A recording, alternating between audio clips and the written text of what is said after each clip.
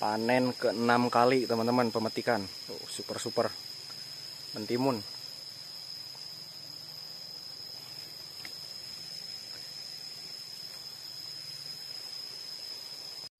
Bismillahirrahmanirrahim. Assalamualaikum warahmatullahi wabarakatuh.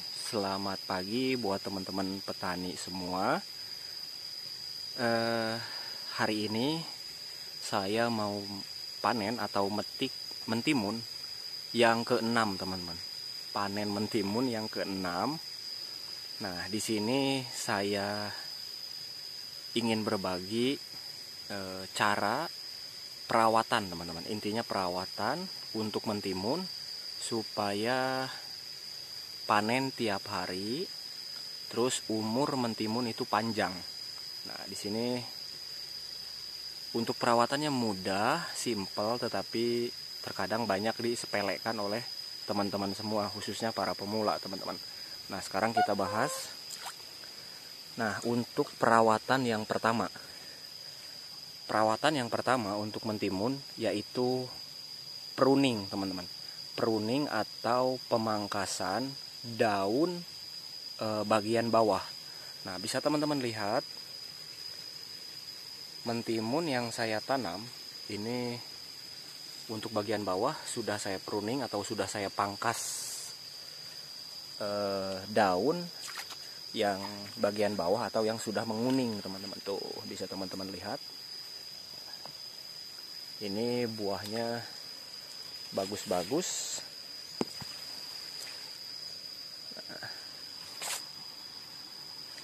Nah yang pertama pruning. Nah bisa teman-teman lihat ini saya pangkas. Terus yang kedua membersihkan gulma ataupun rumput yang ada di bedengan teman-teman. Nah seperti ini.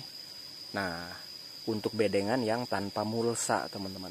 Karena ini bedengannya tanpa mulsa otomatis rumput liar atau gulma itu cepat tumbuh.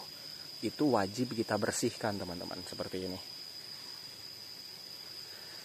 Kalau kita menggunakan mulsa itu lebih bagus.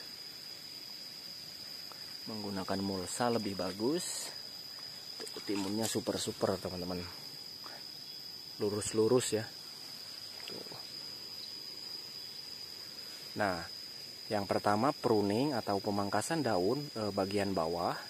Yang kedua membersihkan rumput e, di area bedengan.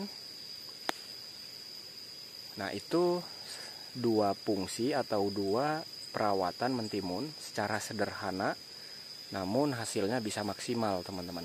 Nah di balik perawatan eh, yang dua tadi itu ada manfaatnya juga teman-teman. Selain buahnya bagus lebat panen tiap hari terus mengirit obat ataupun pestisida. Nah karena kalau daun mentimun untuk bagian bawah tidak kita buang atau tidak kita pangkas itu mempersulit ketika perawatan, mempersulit ketika proses penyemprotan, terus boros obat atau pestisida seperti itu teman-teman. Nah, jadi kalau posisinya bersih seperti ini, ini perawatan mudah, terus obat spraynya itu lebih irit. Nah, seperti itu teman-teman. Nah, apakah mulsa itu wajib kita pakai? Nah, kalau mulsa, kalau menurut saya itu sunnah, teman-teman. Sunnah itu dipakai lebih bagus, nggak dipakai ya tidak masalah. Kuncinya kalau tidak pakai mulsa kita harus e, membersihkan gulma ataupun rumput-rumput liar seperti itu. Tetapi kalau untuk pemula terus lahannya sedikit terbatas, kalau saran saya kita tidak perlu menggunakan mulsa dulu teman-teman untuk awalan. Nah, setelah kita tanam 2 sampai 3 kali terus ada penghasilan.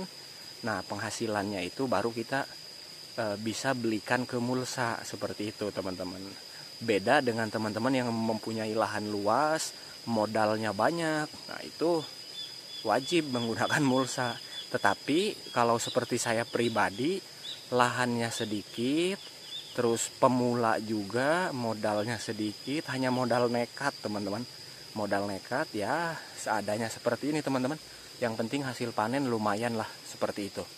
Nah oke terima kasih buat teman-teman. Semoga video ini bermanfaat. Nanti untuk cara pemangkasan mungkin uh, saya buatkan video di uh, lain video ya karena kalau saya lanjut videonya mungkin terlalu panjang yang penting uh, videonya mudah dimengerti dan bisa diterapkan untuk teman-teman semua Terima kasih. Assalamualaikum warahmatullahi wabarakatuh.